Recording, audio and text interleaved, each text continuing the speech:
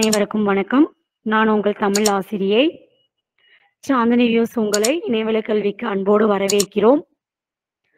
இன்றைய திருக்குறள் அகழ்வாரை தாங்கும் நிலம் போல தம்மை இகழ்வார் பொறுத்தல் தலை நிலம் எப்படி வந்து நம்மளை தாங்குதோ அந்த மாதிரி நம்மள ஒருத்தர் வந்து ஏதாவது ஒரு குறை சொன்னா கூட நம்ம என்ன பண்ணணும்?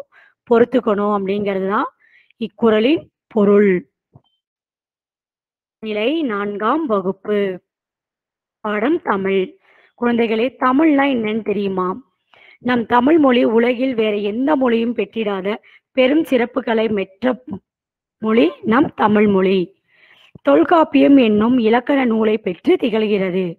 இரண்டாயிரத்தி எழுநூறு ஆண்டுகள் தொடர்ச்சியான இலக்கண இலக்கிய வளங்களை கொண்டுள்ள மொழி நம் தமிழ் மொழி. உலக மொழிகளுள் மிகுந்த அழகும் திருத்தமும் ஒழுங்கும் கொண்டது தமிழ். தமிழ் என்னும் சொல்லுக்கு இனிமை என்று பொருள்.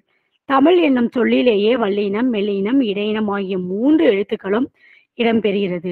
இந்த வல்லினம் தமிழ்ங்கிறதுல வல்லினம் மெல்லினம் எப்படி வருது அப்படிங்கிறது நாம இப்போ பார்க்கலாம். இப்போ வல்லினம் அப்படின்னு பாத்தீங்கன்னா கசட தபர. இதுல வர தா வந்து முதல் எழுத்து. மெல்லினம் நமன நமன. இதுல வர மீ வந்து இங்க மா வந்து ரெண்டாம் எழுத்தா வருது. இடையினம் எரள வளர இதுல வர லா தான் நமக்கு இல் மூன்றாம் எழுத்து. இப்போ தமிழ் தா வல்லினம் மீ மெல்லினம் இல் இடையினம். இந்த மூன்று எழுத்துக்களும் வந்து இந்த தமிழ்ல வந்து நமக்கு கிடைக்குது. தமிழ் மொழி வந்து இயல் இசை நாடகம் என்னும் மூத்தமிழை கொண்டது. யாமறிந்த மொழிகளிலே தமிழ் மொழி போல் இனிதாவது எங்கும் காணோம் என்று பாரதியார் நம் தமிழ் மொழியை மிக சிறப்பாக போற்றுகிறார். இன்னைக்கு நாம பார்க்க போற தலைப்பு ஆரோக்கியமே ஆனந்தம்.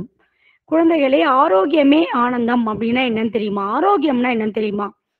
நம்ம உடம்புல வந்து எந்த நோய் நொடியும் இல்லாமல் நீண்ட நாள் வாழ்றது தான் ஆரோக்கியமே. அதுக்கு நம்ம என்ன பண்ணணும்? நல்ல காய்கறிகள் நல்ல பழங்கள் தயிர் மோர் பால் இந்த மாதிரி உடம்புக்கு என்ன நல்லதோ அந்த மாதிரி சத்து மிகுந்த உணவுப் பொருட்களை நாம சாப்பிடணும். அப்படி நம்ம சாப்பிட்டோம்னா ரொம்ப நாள் உயிர் வாழலாம் மகிழ்ச்சியா வாழலாம். அப்படிங்கிறதே இத்தலைப்பின் பொருள். ஆரோக்கியமே ஆனந்தம். பாருங்கள் நம் வகுப்பிற்கு சென்று யார் யாரோட பேசுறாங்க எதை பத்தி பேசுறாங்க அப்படிங்கிறத நாம் பார்க்கலாம்.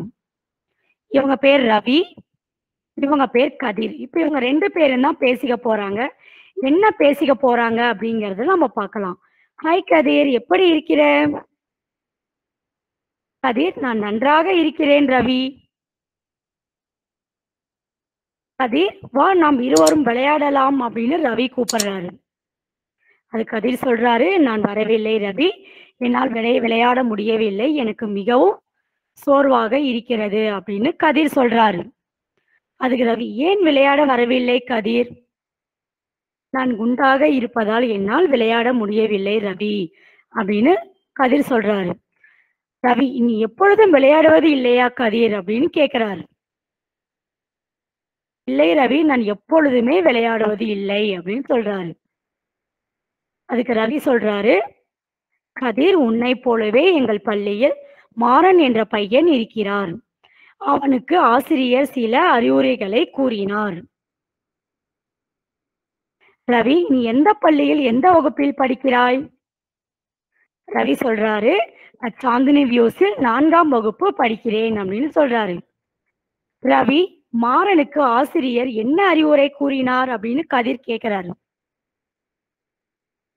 அதுக்கு ரவி சொல்றாரு சரி வா கதிர் நான் உனக்கு சொல்றேன் அப்படின்னு சொல்றாரு.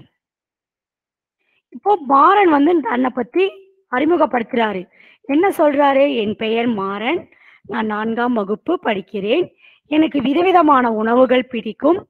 விளையாட்டுனாலே எனக்கு பிடிக்காது. நான் சாப்பிட்டுக்கிட்டே இருந்ததுனால நான் எப்படி இருப்பேன்? ரொம்ப குண்டாக இருப்பேன் அப்படின்னு தன்னை பத்தி சொல்றாரு. நான் குண்டாக இருப்பதால் மற்ற மாணவர்கள் குண்டன் தடியன் என்று என்னை கிண்டல் செய்தனர். அதனால் நான் மாணவர்களை அடிக்கவும் திட்டவும் தொடங்கினேன். இது ஆசிரியருக்கு தெரிந்து என்னை அழைத்து பேசினார். மாறா நோயற்ற வாழ்வே குறைவற்ற செல்வம் என்ற பழமொழி உனக்கு தெரியுமா? இங்க சொல்லுங்கம்மா நோயற்ற வாழ்வே குறைவற்ற செல்வம்னா என்ன? நோய் இல்லாமல் வாழ்ந்தா நம்ம வந்து செல்வ செழிப்போட நிறைய நாள் வாழலாம் என்பதே இப்பழமொழியின் பொருள். நோயற்ற வாழ்வே குறைவற்ற செல்வம். நோய் இல்லாம வாழ்ந்தா நம்ம வந்து செல்வம் குறையாம நம்ம என்ன பண்ணலாம்? நீண்ட நாள் மகிழ்ச்சியா வாழலாம் அப்படிங்கிறது தான் இது உனக்கு தெரியுமான்னு கேக்குறாரு. உன்னோட உடல்நிலை நன்றாக இல்லை எனில் படிக்கவும் விளையாடவும் எந்த வேலையையும் செய்ய முடியாது. எனவே உடல்நிலை ஆரோக்கியமாக வைத்துக்கொள்ள வேண்டும். அப்படின்னு ஆசிரியர் சொல்ற என்னன்னா நம்ம உடல்நிலை வந்து நல்லா இல்லைன்னா நம்மளால படிக்க முடியாது சாப்பிட முடியாது விளையாட முடியாது எந்த வேலையுமே செய்ய முடியாது.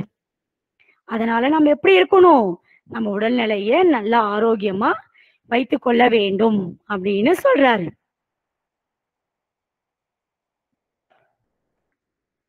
உடல்நிலை ஆரோக்கியமாக வைத்துக்கொள்ள நான் என்ன செய்ய வேண்டும் ஐயா? அப்படின்னு ஆசிரியர் கே மாறன் கேட்கிறார். ஆசிரியர் கிட்ட ஐயா என்ன உடல்நிலை நல்லா இருக்கணும்னா நான் ஆரோக்கியமா வைத்துக் கொள்ளணும்னா நான் என்ன செய்யணும் ஐயா? அப்படின்னு கேட்கிறாரு.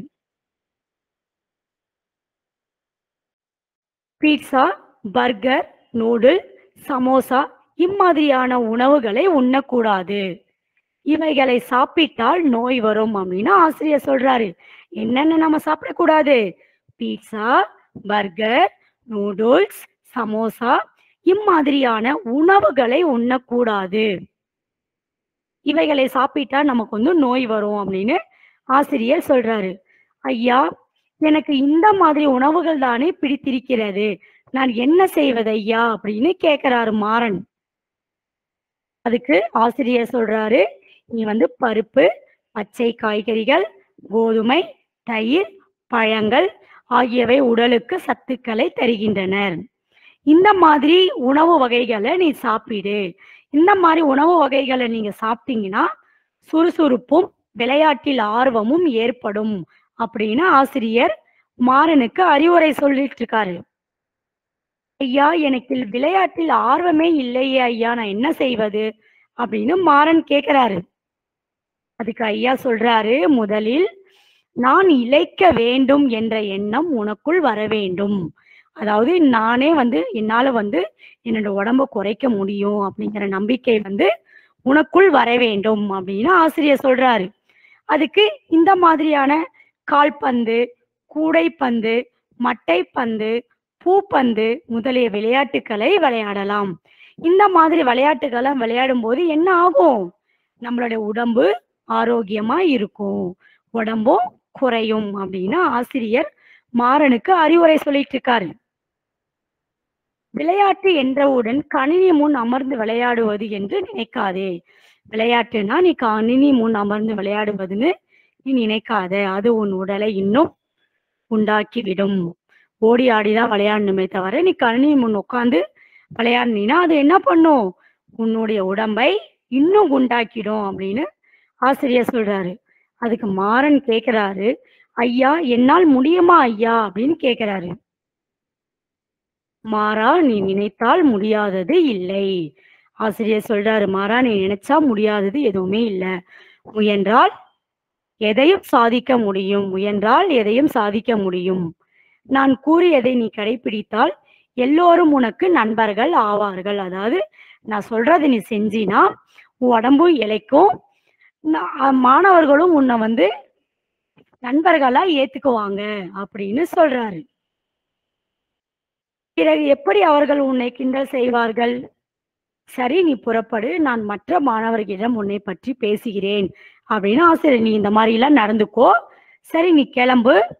நான் மாணவர்கள்கிட்ட உன்னை பத்தி சொல்றேன். அவங்க உன்னை குண்டல் செய்ய மாட்டாங்க அப்படின்னு ஆசிரியர் சொல்லி மாறனை அனுப்பிச்சு வைக்கிறாரு.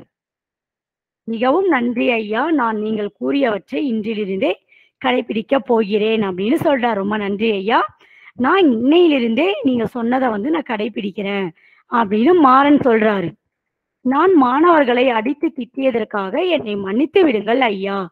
நான் மாணவர்களை அடிச்சதுக்கும் திட்டியதற்கும் என்னை மன்னிச்சு விடுங்கள் ஐயா அப்படின்னு கேக்குறாரு மாறன்.